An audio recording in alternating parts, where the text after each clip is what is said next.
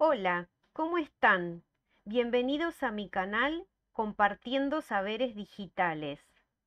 En este video tutorial les voy a mostrar cómo crear un blog utilizando Blogger, que es una herramienta gratuita integrada a nuestra cuenta de Google. Para poder llegar a esta interfaz, podemos hacer clic en una pestaña nueva de nuestro navegador y ponemos Blogger y nos va a aparecer esta interfaz. Para poder crear un blog tenemos que loguearnos con nuestra cuenta de Gmail y lo podemos hacer de dos maneras. O hacemos clic aquí donde dice crear tu blog, se va a abrir esta ventana y aquí tenemos que poner los datos de nuestra cuenta. Y otra opción es ir aquí a esta pestaña que dice iniciar sesión, hacemos clic y nos lleva a la misma ventana. Otra posibilidad es tener abierto nuestro correo electrónico y aquí en los nueve puntos donde están las aplicaciones hacemos clic, se despliegan y buscamos la opción de Blogger. ¿Ven que está aquí abajo? Yo presionando el botón izquierdo del mouse la puedo ir subiendo y colocando en el espacio que me quede más cómoda, de manera de tenerla visible una vez que hago clic, ¿ven? En los nueve puntos. Si yo selecciono la aplicación de Blogger, se abre la misma interfaz que estuvimos viendo en el ejemplo anterior. Vamos a comenzar. Entonces, Ubicados en esta interfaz podemos hacer clic en crear tu blog o podemos hacer clic en iniciar sesión. Presionando cualquiera de estas dos pestañas nos redirecciona a la ventana para que pongamos los datos de nuestra cuenta de Gmail. Una vez que ponemos nuestros datos, nos va a redireccionar a este espacio. Lo primero que nos solicita es que pongamos un nombre a nuestro blog. Lo podemos hacer en este momento o podemos omitir este paso porque tal vez no lo tengamos pensado y lo podemos hacer más tarde. De todos modos, si ponemos el nombre en este momento, lo podemos cambiar también más tarde. Yo voy a poner de título el nombre de mi canal, compartiendo saberes digitales. Hago clic en siguiente. El próximo paso es crear la dirección web de este sitio, es decir, la URL con la que van a ingresar los destinatarios. También le voy a poner el nombre de mi canal y aquí voy a tener que ver si ese nombre está disponible o voy a tener que ir cambiando hasta encontrar alguna posibilidad. La URL se pone en minúscula y sin espacios. Puse nuevamente el nombre de mi canal compartiendo saberes digitales y aquí debajo me aparece una inscripción que dice esta dirección de blog está disponible. Entonces, en este caso, como no tengo ninguna restricción, le voy a poner siguiente. Se abre una nueva ventana donde tengo que confirmar el nombre visible, es decir, el nombre que verán los lectores cuando ingresen a mi blog. Vuelvo a ingresar compartiendo saberes digitales y hago clic en finalizar. Hace un proceso y una vez que el blog se crea, que aquí dice se creó el blog, ahí justo se fue la pestaña, me aparece esta interfaz de trabajo. Posicionados en este espacio les voy a empezar a mostrar el menú principal. Arriba aparece el nombre del blog, luego aparece la posibilidad de crear una entrada, aparecen diferentes pestañas, voy a ir deslizando, estadísticas, comentarios, ingresos, páginas y al final aparece ver el blog. Es decir, que cuando yo voy editándolo, puedo ir también viendo cómo me va quedando. En este momento que estamos iniciando nuestro blog, les voy a mostrar la pestaña tema. Aquí puedo elegir la apariencia de mi sitio. Hago clic, voy a comenzar a deslizar y me van a ir apareciendo opciones. Sigo deslizando. Yo puedo elegir algún diseño que me guste en este momento, lo que no quiere decir que mi blog va a quedar así definitivamente lo puedo ir probando y lo puedo ir cambiando de acuerdo a la intención que yo tenga de uso. Nuestro blog puede ser educativo, pero también nuestro blog puede ser comercial o nuestro blog puede ser sobre determinada temática. Voy a hacer clic, por ejemplo, en esta opción que aparece aquí y cuando seleccionamos uno de los temas, aparece debajo de la opción Vista previa, personalizar o aplicar. Si yo pongo aplicar, mi blog quedará con esta apariencia inicial, que como les decía recién, luego la puedo cambiar. Antes de aplicar, puedo hacer clic en vista previa, como para ver cómo queda. Y en la pestaña personalizar, que seguramente la vamos a ver en otro video tutorial, yo puedo ir cambiando la letra, la fuente, el color de la letra, los títulos, etc. Voy a hacer clic en vista previa. Se carga mi sitio, ven que acá dice vista previa, aparece mi título, le puse compartiendo saberes digitales, aparece una columna central y columnas que van a estar fijas del lado derecho. Fíjense también que aparece un menú que me muestra cómo sería la visualización en una computadora, en una tablet o en un teléfono. Aquí tengo las dos pestañas, personalizar o aplicar. Si personalizo, le puedo hacer cambios de colores, por ejemplo, a los títulos, cambio en la fuente de la letra, etc. Y si aplico, quedaría mi diseño de esta manera. Voy a hacer clic en aplicar. Me redirecciona nuevamente a la interfaz, me muestra que mi tema es este que aparece aquí. Hago clic en esta flecha invertida y ven que aparecen opciones. O lo que puedo hacer también es ver el blog desde esta pestaña. Abro en una pestaña nueva y aquí lo tengo y voy viendo cómo me va a ir quedando. Vuelvo otra vez al editor y lo que les voy a mostrar ahora es cómo crear una entrada. Voy a hacer clic en crear una entrada. Cuando hago clic en crear una entrada, me redirecciona a esta interfaz. Arriba aparece el espacio para poner el título de la entrada, y aquí en el panel central aparece el espacio para comenzar a editar o agregar contenido. Aquí en este espacio debajo del título aparece una barra de herramientas que contiene muchos elementos parecidos a los que contiene un procesador de texto. Por ejemplo, la fuente de la letra, el tamaño, negrita, itálica o cursiva, subrayado, colores, etc. Vamos a empezar por colocar el título de esta entrada. Voy a poner Bienvenidos a mi blog. El segundo paso es hacer clic aquí en la interfaz y comenzar a escribir. En este espacio virtual estaré compartiendo tutoriales de herramientas educativas para optimizar nuestras prácticas pedagógicas. Puedo pintar este texto, ponerlo en negrita, buscar una fuente que no sea la que ya viene predeterminada y también lo que puedo hacer es cambiar el color. Hago clic en la paleta de colores y podría poner azul en este caso.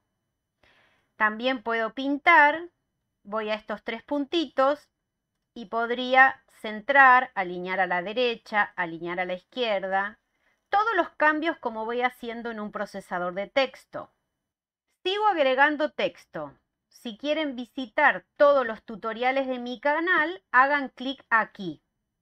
Lo que les voy a mostrar acá es cómo hacer un enlace. Voy a pintar clic aquí y voy a agregar el enlace que me va a redireccionar a mi canal para que el usuario cuando haga clic en esas dos palabras lo lleve directamente a todos los tutoriales que tengo dentro de mi canal. Entonces, una vez que pinto la palabra o las palabras o una frase, hago clic en este espacio que dice insertar o editar un vínculo. Se abre una pestaña, me muestra que ese vínculo va a estar en estas dos palabras y aquí voy a pegar la dirección de mi canal. Una vez que ya pego la dirección, puedo elegir abrir este vínculo en una nueva pestaña. Hago clic y pongo aplicar. Fíjense que donde hay un enlace o un vínculo, la letra está de otro color. Voy a seguir agregando elementos. En este caso voy a agregar la imagen o el logo de mi canal. Y eso lo puedo hacer desde esta pestaña que está aquí que dice insertar imagen. Hago clic. Aparecen opciones. Subir desde la computadora, subir desde fotos, desde Blogger o poner una URL, porque puedo buscar una imagen que esté en la nube. En este caso voy a poner subir desde la computadora porque yo ya la tengo guardada en una carpeta dentro de mi equipo. Hago clic, se abre esta ventana, hago clic en elegir archivos, me redirecciona al interior de mi máquina, estoy posicionada en la carpeta de imágenes, tengo una carpeta que se llama blog, hago clic y aquí tengo el logo de mi canal. Lo selecciono, pongo abrir se va a cargar aquí en la ventana que les mostré recién y una vez que ya está visible voy a poner seleccionar. Ya la podemos ver en esta entrada, si yo hago clic fuera de la imagen, aparece el color de fondo, se puede visualizar lo que está escrito y yo si vuelvo a hacer clic sobre la imagen, lo que hago es que se despliegue un menú que entre otras cosas me centraliza la imagen, la puedo poner a la izquierda, hago clic de nuevo, la vuelvo a centralizar, hago clic de nuevo y lo que puedo hacer es poner una leyenda o lo que puedo hacer es hacer clic en esta rueda de la configuración y puedo cambiar el tamaño. Ven que se abre una ventana, le puedo poner un texto alternativo un título, puedo cambiar también el tamaño de la imagen. En este caso el tamaño es mediano. Yo puedo poner grande, puedo poner extra grande, original o pequeño. Actualizo y ven cómo se agrandó la imagen dentro de esta entrada. Cliqueo afuera y ahí la puedo visualizar. En esta entrada ya tenemos varios elementos. Agregué texto, que lo personalicé, es decir, le cambié el color, le cambié la fuente, agregué texto y le puse un enlace, agregué una imagen y ahora el paso siguiente es agregar un video. Para agregar un video hago clic en esta pestaña que dice insertar video y me aparecen dos opciones. Subir desde la computadora si yo tengo el video descargado y guardado en mi equipo o subir el video desde YouTube. Esta es la opción que voy a utilizar. Hago clic,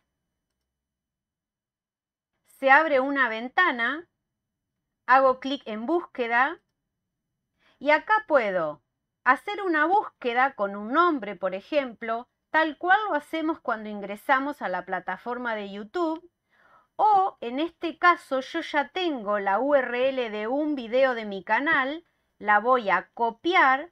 Cuando la copio, ven que se activa aquí la búsqueda, hago clic, aparece un video que explica cómo usar Gmail, yo lo selecciono y hago clic en la pestaña seleccionar. Esto hace que mi video se inserte dentro de la entrada. Si quiero, puedo agarrar los bordes y estirarlo para que mi reproductor quede un poquito más grande, ¿ven? Hago clic fuera del video y aquí ya quedó el reproductor. Ya tengo finalizada mi entrada con texto, con un enlace, con una imagen y también por último le agregué un video. Lo que puedo hacer es poner etiquetas en esta entrada. ¿Por qué etiquetas? Porque yo puedo ir organizando mi blog con temas de manera que en el momento de buscar me sea más fácil identificar las entradas que hablan de una misma cosa. Por ejemplo, a esta entrada la voy a llamar Gmail. Puedo poner una coma y seguir agregando etiquetas.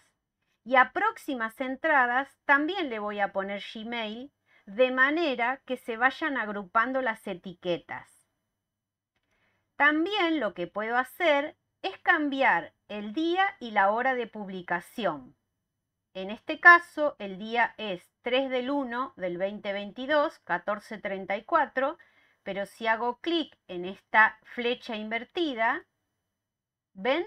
Se despliega un menú donde yo puedo establecer una fecha y una hora diferente. Yo podría poner 2 de enero y puedo también cambiar la hora. Podría poner, busco en este menú y pongo 8 horas. Esto lo puedo hacer en cada una de las entradas. Una vez que ya mi entrada está finalizada, puedo ir a la vista previa para ver cómo me quedó o directamente publicar. Yo voy a hacer clic en publicar me aparece esta ventana porque me avisa que se cambiará la hora de publicación de la entrada al 2 del 1 a las 8 horas. Yo le voy a poner clic en confirmar. La entrada se publicó. Volvimos a la interfaz inicial donde está aquí, ven, el menú principal. Me muestra que ya tengo una entrada. Y ahora lo que voy a hacer es ir a ver el blog para ver cómo quedó esta entrada publicada en mi sitio. Voy a hacer botón derecho, abrir enlace en una pestaña nueva para no cerrar este espacio. Y aquí ya podemos ver mi primera entrada con el título, con el texto, con el enlace, miren, si yo hago clic aquí, donde aparece la manito, clic, se abre una pestaña nueva que me muestra mi canal, porque ese es el enlace que yo puse. Vuelvo nuevamente al blog, aparece la imagen que también pusimos y aquí aparece el video que insertamos que si yo hago clic se reproduce. Acá, ven, aparece domingo 2 de enero 2022, que fue la fecha que le pusimos de publicación a esta entrada. Aquí aparece el título y si nosotros vamos agregando nuevas entradas, dependiendo de la fecha que le pongamos, aparecerán arriba de esta o debajo de esta, porque el blog es una bitácora como un diario, va guardando las entradas más antiguas y me va posicionando la más nueva arriba. En un próximo video tutorial vamos a trabajar en otras pestañas del menú principal que van a ser páginas, que va a ser el diseño, que va a ser la configuración. Espero que este tutorial les haya sido de utilidad para crear un espacio virtual que seguiremos enriqueciendo en próximos videos. Si tienen alguna duda, alguna opinión o alguna sugerencia, los invito a dejarla en el espacio de los comentarios. Te invito a visitar mi canal y a suscribirte, así recibís notificaciones de próximos tutoriales. Gracias, nos vemos en el próximo video.